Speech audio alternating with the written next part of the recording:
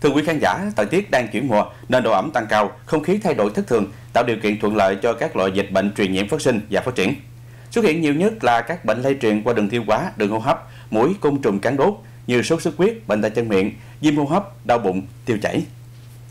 Bên cạnh đó, dịch Covid-19 vẫn còn tiềm ẩn nhiều nguy cơ nguy hiểm. Trong khi đó, nhiều gia đình có trẻ nhỏ đã mắc Covid-19 hiện nay dần lơ là trong việc nhắc nhở con rửa tay, thường xuyên vệ sinh nhà cửa, đồ chơi. Trong khi đó, các bác sĩ khuyến cáo không riêng gì Covid-19 mà những bệnh truyền nhiễm đều cần được phòng bệnh bởi các biện pháp trên. Phụ huynh cũng cần chú ý hơn chế độ dinh dưỡng, giữ vệ sinh môi trường để đảm bảo sức khỏe cho trẻ vào thời điểm giao mùa như hiện nay.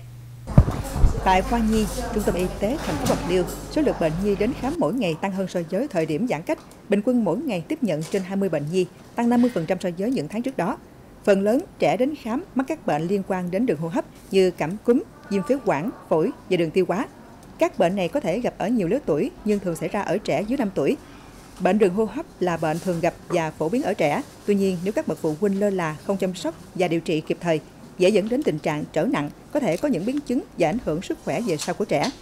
Dự báo thời tiết thất thường sẽ còn diễn ra trong thời gian tới. Phụ huynh cần chủ động theo dõi, chăm sóc sức khỏe cho trẻ. Khi trẻ có biểu hiện bệnh nên đưa ngay đến trung tâm y tế gần nhất để bác sĩ chẩn đoán và hướng dẫn điều trị. Đối với trẻ đang học mầm non, lớp học tập trung cùng lúc nhiều trẻ. Vì vậy, cán bộ, giáo viên nhà trường thường xuyên vệ sinh phòng học, các dụng cụ học tập, đảm bảo môi trường học tập thông thoáng nhằm bảo vệ sức khỏe cho trẻ tốt nhất. Biện pháp phòng ngừa chính của những bệnh truyền nhiễm không khác gì với những biện pháp phòng ngừa dịch Covid-19 như sát khuẩn tay thường xuyên, đeo khẩu trang, rửa tay dưới vòi nước sau khi đi vệ sinh, trước khi cho trẻ ăn.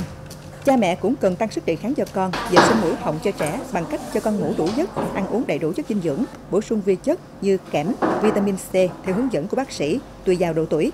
Khi trẻ bị bệnh thì cần cách ly bé với những trẻ khác trong gia đình. Vệ sinh các vật dụng, tay nắm cửa, khử khuẩn mọi thứ trong tầm giới của bé, đồ chơi.